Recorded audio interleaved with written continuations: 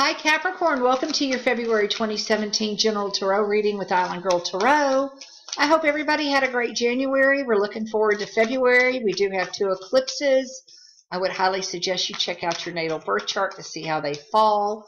That will also tell you your rising and your moon signs. Should this reading not resonate with you, by all means check those out. You can join me Saturday mornings, 10:30 Central Standard Time, Island Girl Tarot on Facebook. I do do a live drawing for those in the chat room. You can also reach me at islandgirll2008 at gmail.com if you're interested in a private reading. I'm extraordinarily reasonable.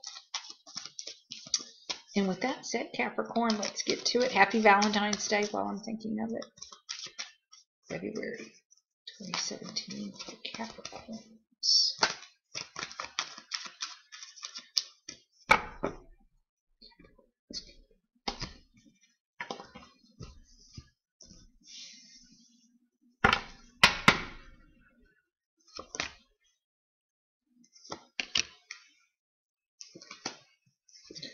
Well, Capricorn, right off the bat, um, it's definitely a, a big month for you. So hang on. I've got more major arcana than I can count. Good Lord.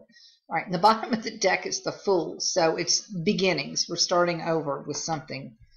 Something's a new journey. One, two, three. One, two, three, four, five. And then with the bottom six major arcana cards. We start off with the Magician uh, the magician is all about manifestation. You think it, so it shall be. So above, so below. Meditation, going inside. You think, and it will happen. It looks to me like you have manifested some money and have manifested enough wealth that you now feel like you are completely in charge of your your domain. You have complete scene control with the Emperor in the four of in the four of Pentacles as well as the four of Wands. The fours represent stability. They represent an evenness. Now the four of Pentacles, as you look at him, you know he's hanging on to those. Uh, he's hanging on pretty tight here to his pentacles.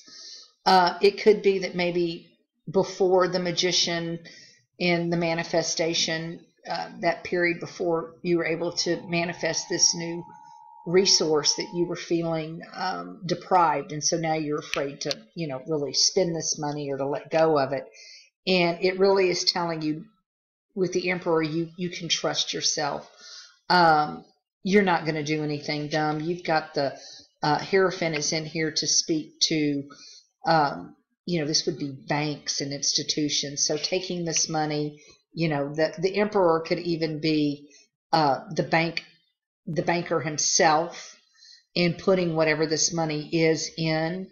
Um, you know because there is going to be something unexpected. I highly suggest if you have come into some money to make sure that you secure it.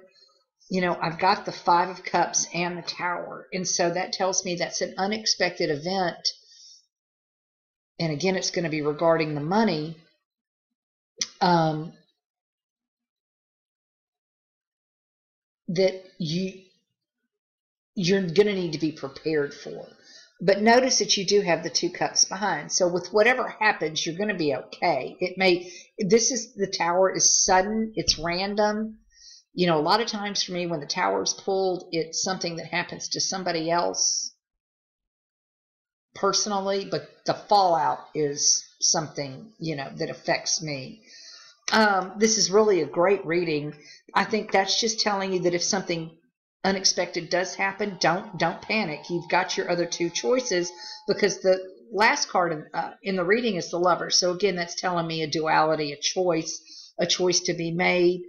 Uh, the fool being the overall energy, as I said, is is a card of new beginnings and starting over. it could very well be Capricorn uh, that maybe you retired and you just decided to go follow your, you know, to go follow your heart's desire and to do exactly what you want to do.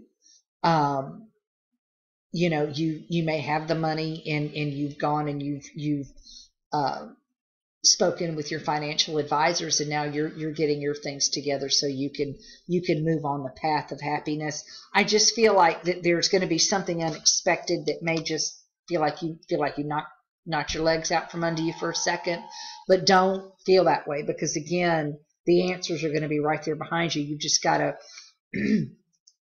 pick yourself up, turn around, and look at them.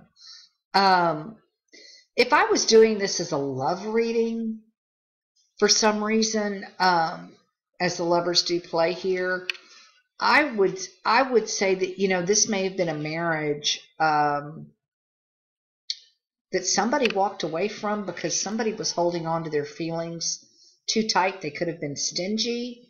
Um, they were you know had an explosive temper maybe or spent money wildly, spent money unexpectedly, and did it without consulting the other partner. That's also, you know, a way, and, that this was a decision where you just walked away and it's made you very sad.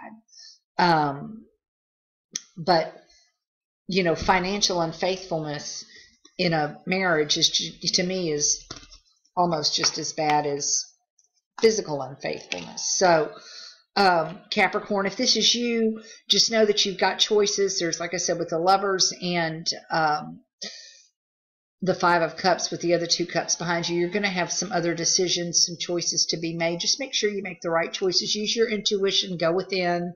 Again, that's what the magician is going to tell you is to meditate so you can manifest. And, and like I said, you know, it could be that you manifested something and it didn't come out just exactly the way you thought it was going to. And so now you're having to deal with the consequences and it's not just quite like you thought it was going to be. Well, that's where the fool comes in and you're like, well, all right, let me just begin again and we're going to tweak this. And that's when you're going to turn around and you're going to see your two cups standing up right there with the five of cups and you're going to be able to uh, make a stable situation out of it and rectify it here with the four of wands. Um, is a card of stability and just you know things will smooth out if things tend to be rocky right now capricorn. Happy valentine's day. Thank you so much for all your likes shares and subscribes. Again it's islandgirll2008 at gmail.com and you can join me on saturdays at 10.30 island girl tarot. Thanks capricorn. Take care Bye bye.